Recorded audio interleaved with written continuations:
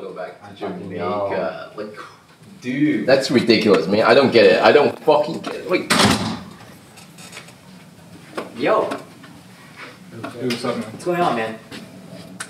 What's up, my boy? How you doing? Dude, I heard you staying here for another two years. Man, I'm so pumped. I'm so pumped. It's gonna be lit. Yeah, I know. But I might take another gap year. I'm not. I don't know.